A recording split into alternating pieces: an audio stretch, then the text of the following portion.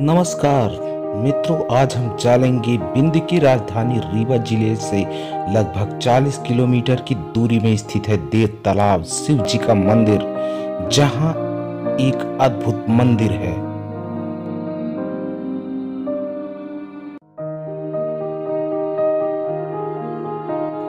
दोस्तों, यह मंदिर का प्रमुख द्वार है। यह गेट, मेन गेट है और ये मंदिर है। कहा जाता है कि ये मंदिर सिर्फ़ एक पत्थर पर बनाया गया है। यहाँ चौबीस घंटे यहाँ मंदिर के पुजारी भगवान शिव की सेवा में लगे रहते हैं। आपको जो ये मंदिर दिख रहा है, ये मात्र एक पत्थर का बनाया हुआ है। यहाँ पे किसी को भी यह नहीं पता यह मंदिर कब बना, किस सन में बना, किस युग में बना, सिर्फ़ ये पता है कि यह जो भूमि है, वो श्रृंगी ऋषि हुआ करते थे कभी, उनकी तप स्थली है। सरकार ने यहाँ इस मंदिर में दूसरा गेट भी करवाना चाहा, लेकिन यह मंदिर में कोई भी मशीन काम नहीं की। इस मंदिर के अंदर यहाँ शंकर भगवान शिव जी की मूर्ति है।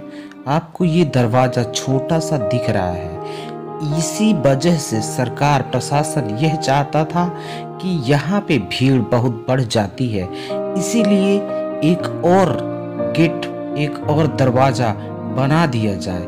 लेकिन यहाँ पे इस मंदिर में कोई भी मशीन काम नहीं की। इस वजह से दूसरा कोई दरवाज़ा नहीं बन पाया। भव्य मंदिर है और बहुत प्राचीन मंदिर है। यहाँ पे जितने भी साधु संत हैं और जितने भी लोग हैं तो किसी को यह नहीं पता है कि ये मंदिर कितने सालों से, कितने वर्षों से ये मंदिर बना हुआ है।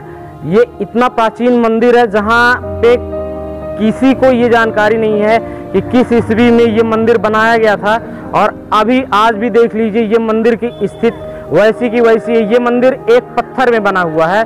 यहाँ देव तालाब बोला जाता है और यहाँ पे देखिए कि ये विश्वकर्मा भगवान द्वारा बनाया गया था और एक रात में बना गया। यहाँ पे जो लोग बताते हैं कि ये मंदिर एक रात में बनाया गया था और एक ही पत्थर से। ये मंदिर बना है। इस मंदिर में कहीं जोड़ नहीं है। और बिंद प्रदेश का ये एक अहम, बहुत ही प्राचीन मंदिर है, जहाँ पे लोग दूर दूर से आते हैं। श्रद्धालु देश से, कई प्रदेशों से आते हैं। यहाँ पे दर्शन करने, मन्नत मांगने और श्रद्धालुओं की, यहाँ पे हर मन्नत पूरी होती है। मित्रों, यहाँ पे जिस स्थान में हम खड़े हैं, ये देव तालाब मंदिर है, बहुत ही प्राचीन मंदिर है शंकर जी का, जो कि एक पत्थर में निर्माण हुआ है। कई वैज्ञानिक यहाँ आके दूसरा दरवाज़ा करना चाहे इस मंदिर में, लेकिन कहा जाता है कि मशीनें तक नहीं काम की इस पत्थर को निकालने के लिए। लेकिन इसके साथ साथ कई असुविधाएँ भी हैं, जो प्रशासन, यहाँ के स्थानीय लोग प्रशासन को अवगत कराते हैं, लेकिन फिर भी कई सालों से वो समस्याएँ बरकरार हैं। आज तक कोई भी समस्या का हल नहीं निकाला गया। और इस तरह की समस्या आपको बताएँगे कि, कि कैसी समस्या है। यहाँ तो ये पहले तो यात्रियों के लिए पानी की व्यवस्था नहीं है। यहाँ रोज प्रतिदिन रोड चढ़ाने के लिए आते हैं स्नान कराने के लिए आते हैं। तो, तो उनको लिए एक तो पानी की व्यवस्था की जाए। दूसरा यात्रियों के लिए सुलभ शौचालय स्नानागार आदि इत्यादि की व्यवस्था की जाए। और साफ़ सफ़ाई के लिए एक परमानेंट एक दो चौकीदार रखे जाए जिससे कि यहाँ साफ़ सफ़ाई बराबर होती रहे।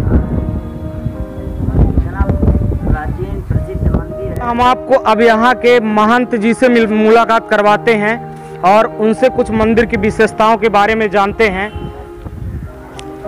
ये ये सिंगी ऋषियों की तपोभूमि है। यहाँ यहाँ उनके तप से भोलेनाथ यहाँ पधारे। जी जी किनकी तप ये सिंगी ऋषि की। सिंगी ऋषि। हाँ ये तपोभूमि है। ये बाबा भोलेनाथ और विश्वकर्मा जी का बनाया हुआ मंदिर है। हैं एक रात का बना हुआ मंदिर है। इतना लोग जानते हैं बस इसके आगे कोई नहीं जानता कब का बना है कौन बना है कैसे बना है। इतना ही लोग जानते हैं। और यहाँ शायद सुने कई विदेशी इंजन बड़े बड़े इंजीनियर आके चले गए। कि कैसे बना पर पता नहीं लगा पाए है ना? मित्रों, यह चैनल सब्सक्राइब ज़रूर कर ले। हम आपको इसी तरह के बिंद के कई अहम जगहों